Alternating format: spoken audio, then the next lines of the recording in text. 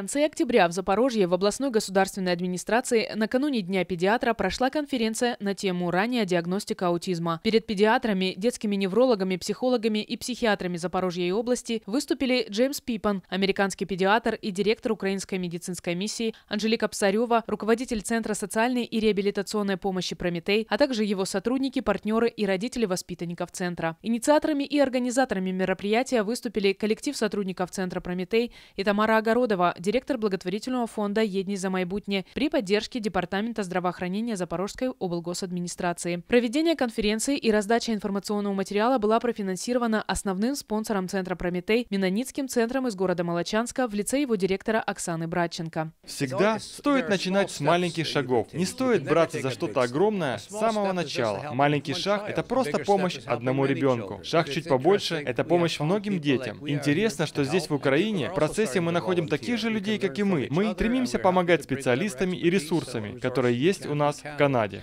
На конференции выступил Олег Борисовский, главный врач областного дошкольного психоневрологического центра. По его словам, актуальность ранней диагностики аутизма для Украины и Запорожской области сегодня очень высока. Еще 10 лет назад из 60 пациентов психоневрологического центра аутизм ставили одному-двум детям. Сегодня это 30 человек из 60. Согласно украинскому законодательству, государственная психиатрическая помощь ребенку предоставляется только с трех лет. Направить на лечение может только детский психиатр. В штате госучреждений даже не предусмотрена ставка ABA-терапевта, который имеет лицензию на оказание помощи детям с аутизмом. Все это, а также период принятия родителями диагноза, который в конце концов ставят ребенку, в случае с аутизмом является катастрофической потерей времени. Ведь максимально ранняя диагностика, то есть до трех лет, повлечет за собой раннее вмешательство в развитие малыша с аутизмом и даст им шанс стать детьми, практически не отличающимися от сверстников уже через несколько лет после начала реабилитации.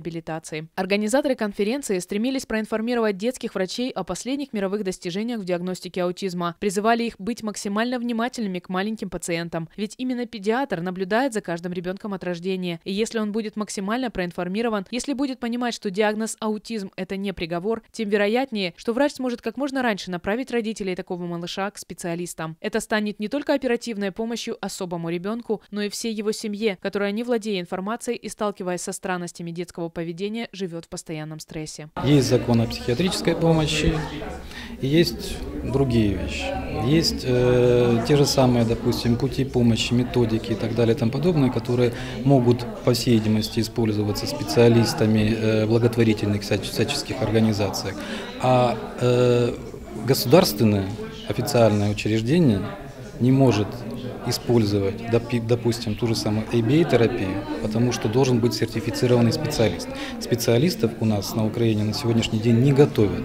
И те же самые использования WebMap, да, то, о чем говорили, оценка первоначальных навыков, мы не имеем права, потому что нет обученных специалистов и так далее, так далее, так далее. То есть на сегодняшний день оказание помощи это сугубо э, на уровне энтузиазма и личностных таких качеств каждого специалиста, человека. С такими детьми э, я встречаюсь как раз на этапе ранней диагностики, когда ко мне направляют психиатры с, детских, с районов для того, чтобы провела диагностическое обследование для решения именно диагностические задачи прежде всего у меня стоят. Поэтому, когда меня пригласили сюда, я увидела реальную работу по реабилитации уже таких детей.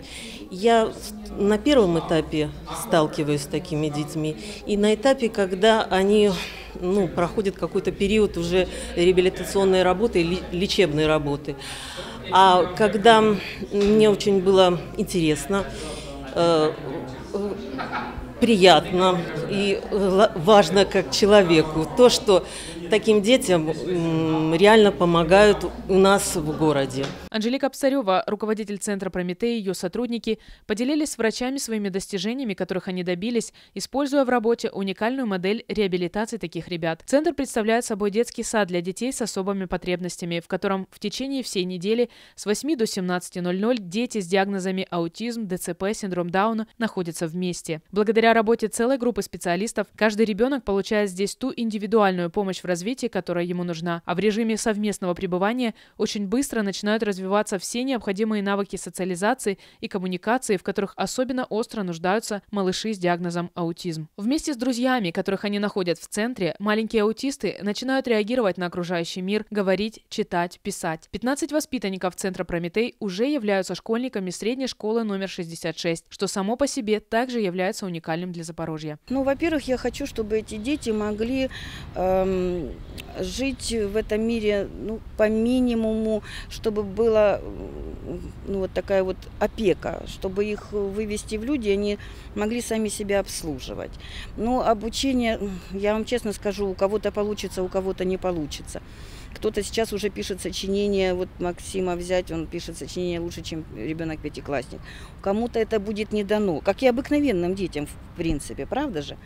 Вот. Но вот мне кажется, что этих детей прежде всего нужно действительно социализировать, чтобы они могли жить в этом мире без тыкания пальцев, э, без э, каких-то там насмешек. Дети они когда учатся вот так вот, где все остальные, да, детки норма, то у этих детей появляется такое вот, а я такой же, и я умею, а почему бы нет? Посмотрите, они пишут, считают, читают, они тоже такие же. Вот. А со стороны вот детей, которые рядом, то я считаю, что вот слово милосердие, там, сердобольность, еще никто не отменял, если вот такие моральные качества будут прививаться ну, нашим э, детям, то это будет тоже отлично. Ну, я так, ну, на примере наших детей, ну, это абсолютно реально. Ну, знаете, когда я была в Германии, и там тоже ж таких детей есть, там и ДЦП, и очень тяжело. Я была в одном детском садике интегрированном, и вот, ну, вот я просто свои ощущения не могу передать. Вот лежит ребенок, да, он не разговаривает, не общается, не понимает. Он просто его родители работают, и вот обычный садик, там, где обычные дети. И этот ребенок лежит, значит, э, ему делают для профилактики от пролежней вот эти подушки просовые или там гречка, вот он лежит, начинается занятие, вот они берут этого ребенка. И на, это, на занятии вот просто его кладут рядом. Вы знаете, вот они его любят как человека. Знаете, он для них не больной. И бегает девочка рядом, которая видит, что у него слюни текут. Она мальчику показала, дай салфеточку. Мальчик принес салфеточку, они его вытирают. Вот понимаете, но нет у них такого понятия, что это за дети. Это, это дети, это немец, это ребенок вот таких же немцев, как, как они. У них нет такого понятия, ну, воспринимать, принимать, любить. Но это члены общества. Поэтому, ну, мне бы хотелось, чтобы наше общество тоже таким стало.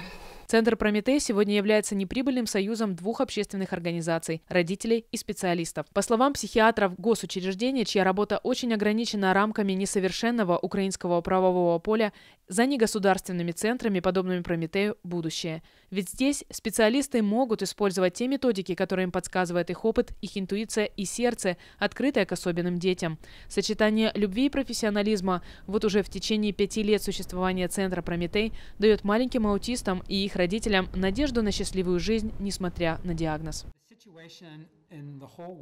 Сегодня по всему миру ситуация такова. Количество детей с аутизмом неуклонно растет. У каждой страны свои проблемы. Поэтому в этом случае совершенно не страшно сравнивать ситуацию в Украине и в Америке. Во многих областях у нас те же самые проблемы. Однажды я присутствовал на украинских выборах в качестве международного наблюдателя. Одна бабушка спросила меня, что вы здесь делаете? Я ответил, что наблюдаю за тем, как идут выборы. Она спросила, и как они идут? Я сказал, что все идет замечательно. И она сказала, если выборы пройдут хорошо, то мы будем жить как в Америке. А я сказал ей, у Америки свои проблемы. Вам не нужно быть как Америка. Вам нужно стать самой лучшей Украиной, которой вы только можете быть.